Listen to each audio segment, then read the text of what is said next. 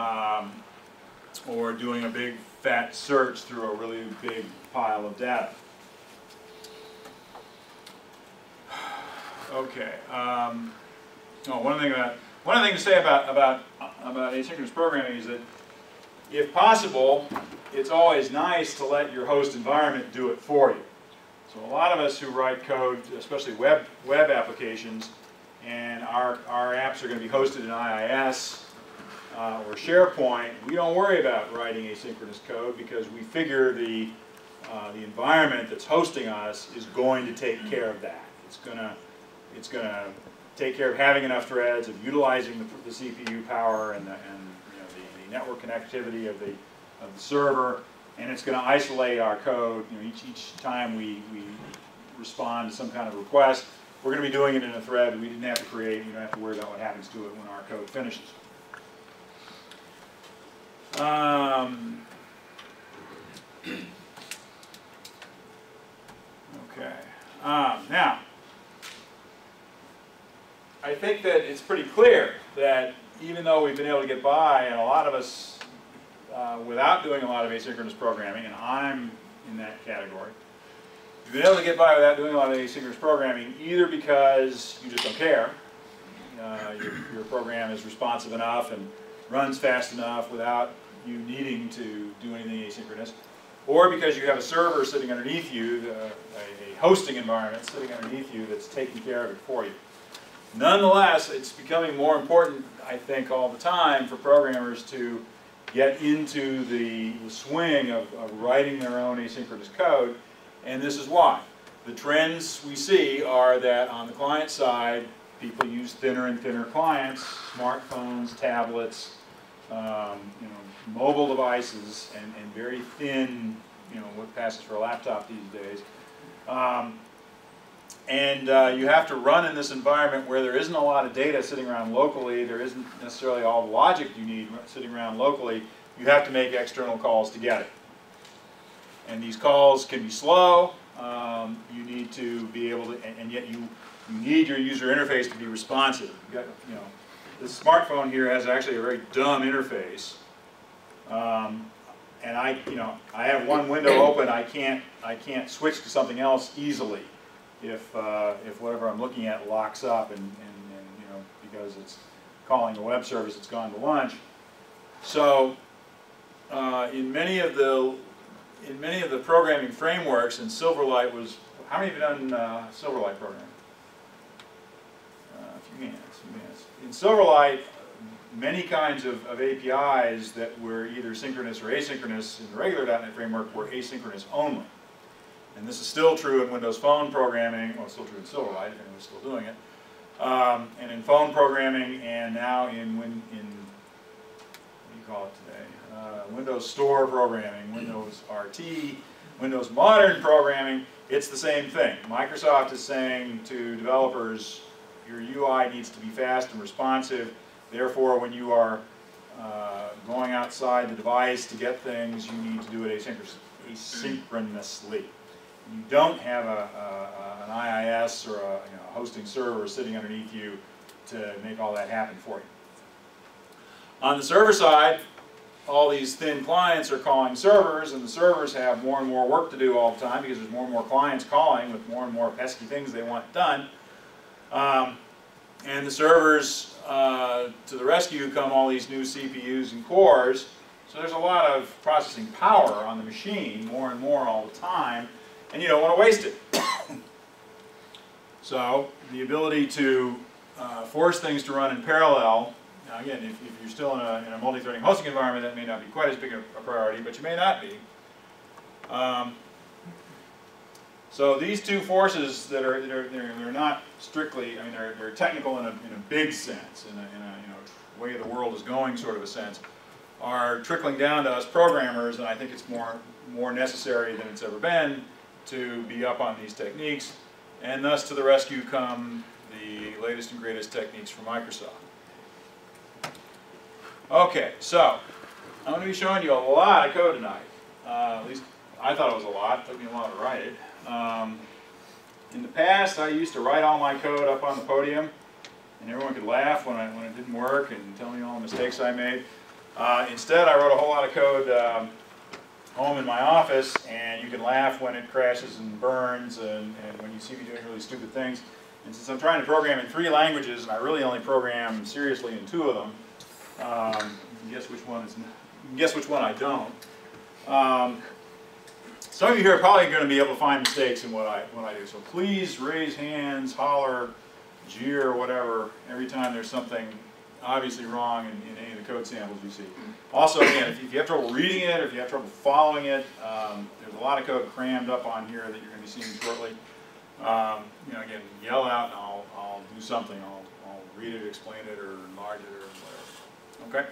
Now, all these examples are going to be in .NET 4.5 using Visual Studio 2012. Um, that's what you need to use all the latest and greatest techniques. Um, where I can, if I can remember to, I'll make note of the fact that some of these things are available in previous versions, and earlier versions of .NET. How many tonight are using Visual Studio 2012? Mm, Half, maybe a third of you. How many are at least on Visual Studio on 2010 or higher? 2010 or higher. Okay, that's that's a good bit. Anybody still on 2008? Anybody still on 2005? Okay. Outliers. Some of this will work in 2005. So these are the versions we're in. Now, on the other hand, I'm not ready to leap into the, all the way into the future yet, so I, I, I, I truly have never had a chance yet to do any programming in Windows RT. Uh, as much as I'd love to, my laptop has Windows 7 on it. I don't have, haven't had the time or the courage to upgrade to Windows 8, so I don't do WinRT programming at the moment. Um, but most of what I'm going to tell you about will be, particularly about the, the library related stuff, uh, my understanding is it, it applies to Win, to WinRT programming and or to Windows Phone programming, which I also haven't done. How many here have done Windows RT already in some fashion? More hands than I thought. Good. How many have done Windows Phone in some version or other? A few. Okay. All right. So that's the uh, the requisites for the code. So here are the techniques: threads, thread pools, asynchronous delegates, asynchronous event handlers, asynchronous tasks, that's the task parallel library, and finally F sharp, F sharp asynchronous workflows. Okay, and what I'm going to do is put up a quick slide about each one and then we'll go in and look at code samples. Alright, so back to the very beginning. Threads and thread pools. This has all been in .NET from day one. You can create your own threads. Every time you create a, thread, a thread, you give it a thread function, and you tell it to start executing. And it does. Simple as can be. This is actually uh, probably the easiest code to understand um, that we're going to see all night. How many uh, have done this? Almost everyone. Very good. How many of you think it's a great way to go? There's no one. Um, all right, so just just to just to state the obvious, the, the great thing about it is that you get to have your very own thread. You create it yourself; it's all yours. That's also the terrible thing about it. That's your very own thread. Uh, something goes wrong with it, you're stuck. Um, the other technique that's been around a, a long time uh, as an enhancement over this is the thread pool. The thread pool is an object that will exist in each app domain that will manage like it says, a pool of threads. Um, these threads are, when you start up the app pool, the app pool, um, it, well, the app domain, excuse me. When you start up the app domain, the thread, the thread pool manager starts up, spins up some threads, exactly how many, depends on various factors that you can manipulate if you want to go into machine config and fool with it. Um, but there'll be some threads there, and anytime you want to use a thread from the thread pool, it'll give you one sooner or later. And the, and the nice thing about that is that that thread is not your responsibility. When you're done, you give it back to the thread pool manager, and uh, it will, it will uh, take care of it from there. How many have used uh, thread pool threads in your code? Not as many. Now, today, I would discourage anybody from using either of these techniques And I think a lot of people don't want to use these techniques, and yet they do, in part because it's so simple. It's uh, easily the most straightforward way to get started. Okay, so let's look at what we have here. This is, uh, I have a sample application, and wow, I'm not even count how many, about five or six, well, about seven or eight different functions that I'm gonna call one by one in my submatrix. This is a Windows console app. Um, no, no fancy graphics tonight. All steak, no sizzle. We have a Windows console app, and in each of these examples I'm going to be showing you, the object of the example is to allow the main, uh, the main thread of the program to keep functioning um, without any uh, interruption from a second thread. Okay? So let's look at what the, um, I'll just, I'll just uh, run it without calling any of these other functions.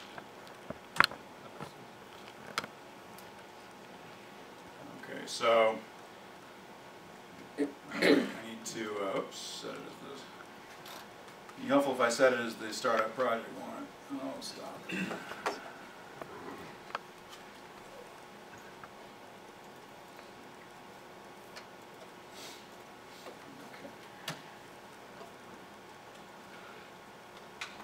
Okay, so here's our status, coming from the C-sharp version of this program. And it just says our status is, you can't see it, oh, that's a terrible thing. Hang on, I, uh, sorry. Stop slideshow. There we go. Okay, well, you can't even tell that it's doing anything now because it already scrolled off the end, but, uh, again, yeah. Okay, so our status is we're moving forward at warp speed. This is all inspired by the Stir Trek conference that's coming up uh, when, uh, about, uh, I think it's the first, it's the middle of April, sometime middle of April. Star Trek is May seventeenth. May 17th, well, I'm off by a month. Tickets go on sale at, on Thursday at 1.59 PM. 1:59 p.m. And if it's like CodeMash or uh, some of these other things that sell out in five minutes, you might want to go online and grab a ticket or two while you can. Um, okay, so let's close this other code that we're not look at this one. Okay, so um, I have, uh, let's go to the top here. So this, this is a class called program. It's got a uh, a static field in it called work status, which currently is set to forward warp, forward warp speed. We have a function here that displays it, and a function here that updates it. And you'll notice that in both cases I am protecting my uh, static uh, string class member there with a lock uh, operator. That's the quick, dirty way to uh, make sure that, that no thread can get at this thing uh, while I'm in this function uh, either reading it or writing it. How many of you use the lock operator your asynchronous code? So this is, this is sort of a quick, simple, poor man's way to, to keep the data from getting corrupted. Okay, so I have a function that reads it and a function that writes it. Um, then I have a function here that will get a new status. And this has been arbitrarily set to sleep for 20, uh, for 2,000 milliseconds or two seconds so that uh, it'll slow things down when it's running. And, um, okay, and then we have all these different variations of functions we're going to call to do the updating. So, first thing I'm going to do is display it. Then I'm going to invoke one or other of these functions here that are all commented out for the moment. Then I'm going to, uh, while I'm while things are undisturbed, I'm going to go into an endless loop that will keep going as long as the work status stays at forward warp speed. Um, and it'll just display it again and then sleep for 500 milliseconds or half a second. I'm scrolling along every half second. Um, when this loop exits, if it ever does, we'll display it one more time, display the status one more time, and then we'll quit. Okay? So, first, I'm going to call a function that will update the status synchronously. And they should be in the file in the same order that I'm calling them down below, so here it is. Uh, we're going to call this get, get new status, which remember is this thing, takes two seconds to return new status. And once we have the new status, we'll feed it to this update status function up here, which will lock the uh, field and then, then override it. And then we'll have a new status. So, go into, run that, and wow, our status updated pretty fast. Let's try slowing that down a little.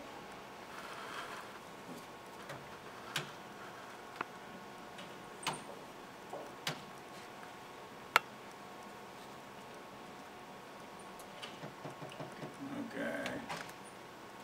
All right, you get the point. Nothing happens while we're waiting for the synchronous function because it's executing on the same thread in the same process as the, the main one. So the, the loop that we were going to run um, never even started. Okay, we got uh, we got to here, we displayed it once, and we immediately went to the update status sync method, which uh, didn't come back until the status had already been changed. So by the time we got down to our, our while loop down here, the status was already something else, so we never even entered the loop. Anyone doubts that, I can step through in the debugger, but we probably, I'll, I'll- ask you to take my word for it. Now let's try another variation where we're going to update the status, status on a new thread.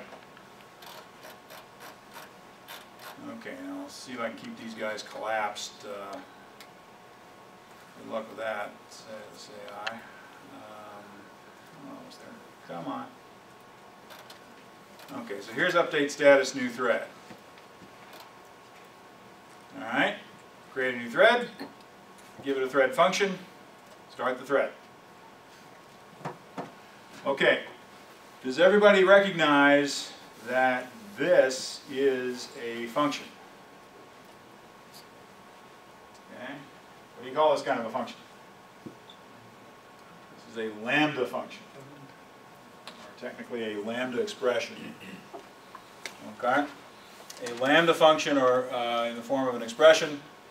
Uh, is anybody here not not used to writing lambdas, or at least reading them? One hand goes up, two hands go up. That's good. I'm, I'm glad. I'm glad most of you do.